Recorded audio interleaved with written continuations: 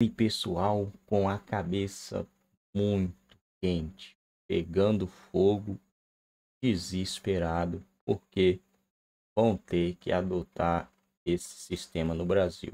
Né? Porque se lá funcionou e aqui muita gente reclama, muita gente questiona isso, por que não? Vai facilitar a vida do povo, vai trazer confiança. É, as pessoas vão se sentir confiável aí lá naquele dia, apertar aquele botãozinho, né? Vai ver ali o seu ticketzinho saindo, né? Acho que seria uma boa aí, né? Seria, acho não, acho eu não vejo motivo para não ter isso.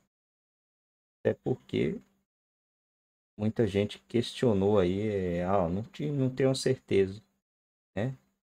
Para tirar os questionamentos, para a pessoa ter a certeza, eu acho que seria legal é, que o Brasil adotasse isso daí. Já gasta um bom dinheiro com política, poderia gastar um pouquinho mais trazendo essa facilidade aí não vai precisar ter isso que aconteceu aí, né?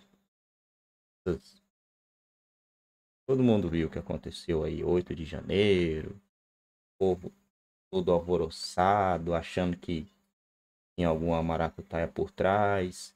Se tivesse esses papéis aí, eu acho, né, não tenho certeza, que não teria acontecido tudo isso que aconteceu. Vamos ver o que vai rolar. Quanto tem gente presa sem ter cometido nada naquele dia. Barroso concede prisão domiciliar acusada de tráfico de drogas. Presa em local é distante dos filhos.